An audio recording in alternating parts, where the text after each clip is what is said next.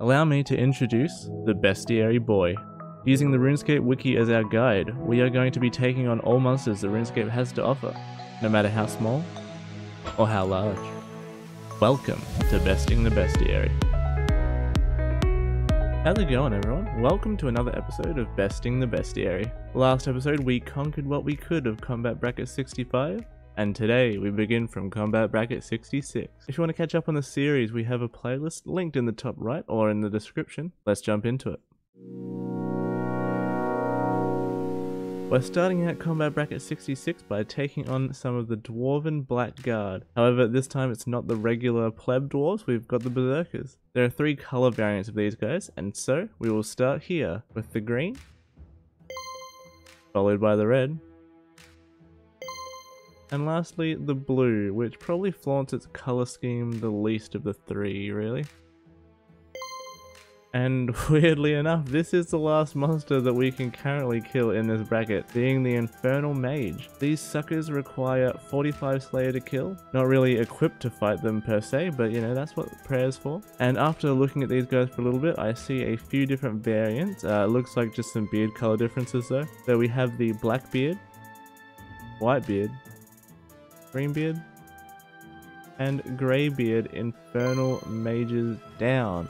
Or at least that's what I'm calling them. So, like I said, not much left for us that we can kill in this combat bracket at the moment. We've got the Defiler, which we're still not able to do pest control yet. The Scarab Mage, which this one appears during the contact quest, but with the quest prerequisites, we need to kill at least a combat level 91 before we can even think about this guy. And lastly, we have the Torcher, which is also a pest control problem.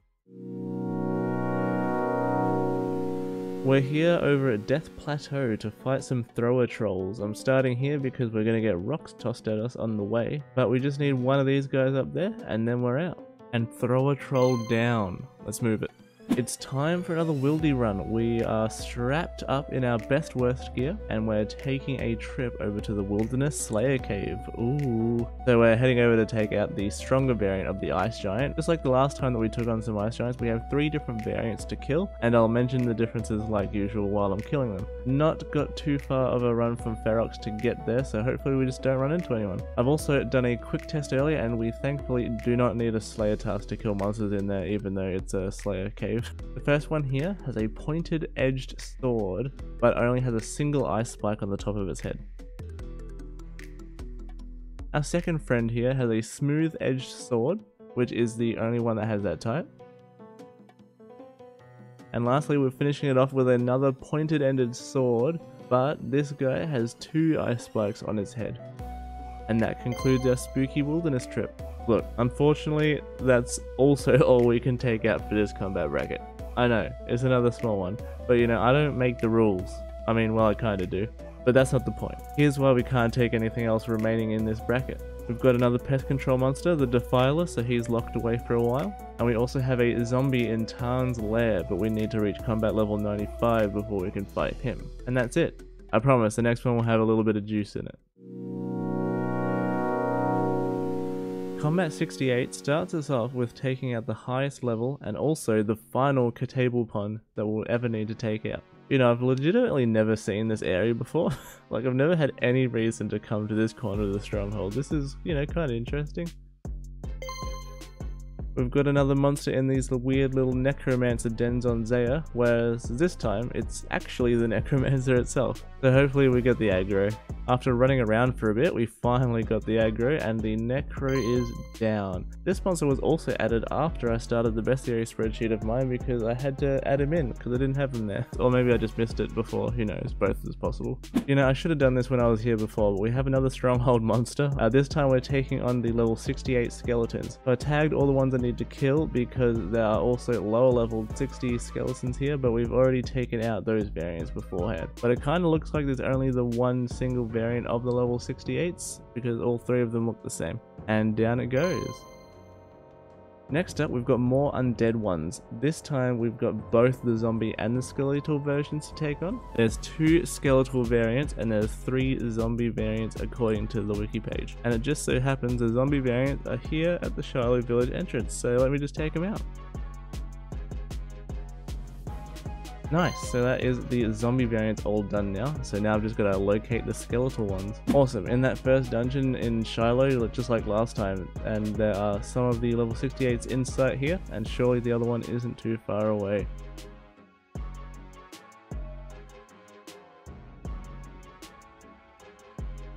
And after some mucking around, that is both of the skeletal undead ones down. Let's skedaddle. Well gang, I thought this was going to be a cruisy one, but I forgot about this next monster. We're going to be taking on a Chasm Crawler next, which is the superior version of a Cave Crawler. Unlike last time, we actually just get to dive straight into the actual monsters without worrying about getting bigger and badder. So what I'm going to do is the same as I did last time, where I'm going to roll a task with Mazchna here, and if it's not Cave Crawlers, I'll do a task skip over at Turael if I can, for a chance at another roll because they both assign cave crawlers. Doing it this way hopefully speeds up the chance of me getting a cave crawler task and by extension getting the superior. But a quick side note though, I can actually kill every Mazchna monster now, meaning that I can, you know, actually farm Slayer points without any skips required, which I couldn't do before. Do you think that I should just allow myself to start farming Slayer points? I'm kind of torn because technically it's not optimal, and doing Slayer tasks that I don't need to do is technically not my current mission, if that makes sense. But Slayer points could be be useful? I don't know. Let me know what you think, and I'll implement any changes the next time we have a Superior monster, which I believe is the next video? Uh, oh, I'll have to see.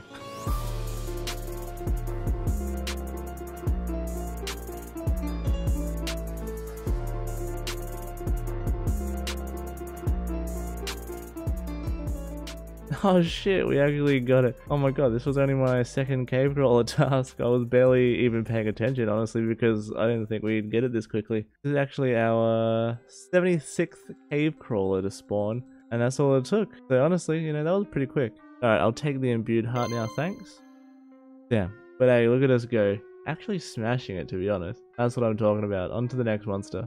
Next up to take out is an ogre called Gorad. This guy has a small feature in the Watchtower quest as a kill requirement. I'm not sure if I need the quest progression to actually kill him, but I will progress into the quest anyways. We can't actually complete the quest because there is a monster that we need to kill later in the quest after Gorad, so I might as well just, you know, make a little bit of progress now, so I'll meet you there. Oh, we made it to Gorad. We didn't really have to do anything yet, so that's good. Well, I guess we just talk to him now and then kill him. And that's Big Bad Gorad down. Alright, here we are at the small island on the north of Fossil Island. Our next monster is a Lobstrosity, which is in the underwater section here, hence the diving gear. Now, I've actually never been down in the diving section here, which, you know, may sound weird, but, you know, I've literally never had a reason to go down here. Apparently, you can only use certain weapons and whatnot, but apparently magic is all good, so I've just got my stuff, my best magic gear ready to go. So I imagine I just duck down there and we should be good to go. Hmm, I'm not sure what this means but you know, maybe I can't wield my stuff, so I guess I'm going staffless. Okay, apparently I can't use my headgear through here, so let's just hope I don't die. I'm not really sure how to get there. Okay, got caught in a current, but we made it. Thank God. Alright. Okay, here are the lobstrosities. Hopefully we can kill them fine. Alright, lobstrosity is down. You know, they were kind of saucing on me a little bit, but that's alright. For combat bracket 68, we are currently done for now. We'll be back later down the track, of course. The things that we've got left to take out from here are the Locust Rider, Lancer, and Ranger version from the quest, which have the same story as the Scarab Mage, which I mentioned earlier in the video. We have Nazastarool, which I know, I already did some Shilo Village stuff this video, which this guy is involved with, but unfortunately it is the boss, and not even the first phase of it. So we have to kill a higher level monster to get to this guy, so he's on hold until combat level 91. There's another Barbarian Assault monster in the Penance Ranger, which we can't take out yet. There's the Spawn of Sarachnis, which is unable to be killed currently because to fight the Spawn of Sarachnis, you have to fight Sarachnis itself, which is too high of a level. And lastly, we have the Thrower Troll Troll Trollheim variant. Unlike the ones that we killed earlier in the video, we can't access these ones because Trollheim itself is locked behind this Troll Stronghold quest, which means I need to fight a combat 113. On to the next bracket. Actually, I figured I'd just open the caskets we got from the very small Chasm Crawler grind we just did. I went so fast I actually forgot that I got caskets to be honest. It's just two beginners and one easy, so don't expect anything nice. And nothing is expected. Alright, let's go. Here we are at the Warriors Guild for our first monster for combat bracket 69. We've got the black animated armor which is also, as you probably expect, our new best armor set to kill for the Warrior Guild tokens now.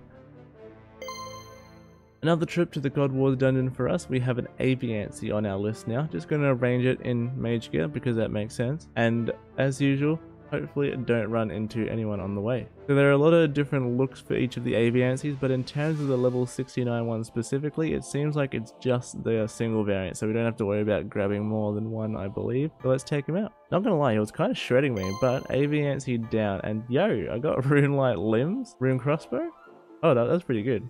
I just need fletching to get that one, don't I? Hold on, let me get out of here first. Okay, yeah, all I need now is to just do some fletching stuff to get a rune crossbow if I want to. The main problem being that I'm currently 10 fletching and I need 69 fletching to get one. It's not really necessary for anything right now, so I will wait on it, but it's a good thing to keep in mind. Moving on to a nice and simple one, we've got a hero now, but he won't be the hero here. Next on our list is the Draugr, which is a monster that needs to be fought as part of the Fremennik Trials quest. Now, before we get to it though, I just need to make an adjustment to the bestiary list because this affects it in a way. Allow me to explain. Originally I had it down that the Draugr is a monster that we need to kill to finish Fremennik Trials, which would allow us to access Miscellanea. So this is important because there are a lot of NPCs in Miscellanea that we are currently missing that we need to take out. However, there is another man that we need to take out in the quest, and that is Koschei the Deathless. Now, I know you're going to tell me, hey yo, he doesn't have a combat level. But you know, that's kind of the problem. It's kind of true, but it's also untrue.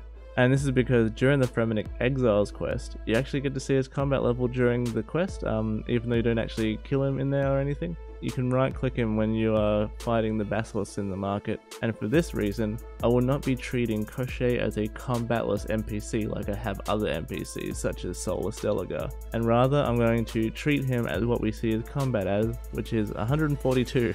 So this, unfortunately for us, means that all content unlocked by finishing the Fremennik Trials is now locked until combat level 142 as well, which it wasn't going to be that before, it was just going to be at the Draugr. However, this is kind of a small victory for us in a way, and that is because the fact that due to our goals, we want to kill all forms of monsters that we can. And by waiting to 142 combat bracket, we'll have more of a chance to take out Koschei's final phase in the quest because, you know, that's a pretty legit fight. Anyways, let's take on the Draugr. I can do the trials in any order, so I'll just go straight to him. Finally, after running around for what felt like ages, we have found the Draugr, and we shall get him. Hey, beautiful. Now we've got the Mountain Troll. There aren't any explicitly listed variants on the wiki, but I can clearly see right here that there are differences, you know, in color scheme and weapons and whatnot. So I'm just going to run through here, and I'm just going to take out all the different types.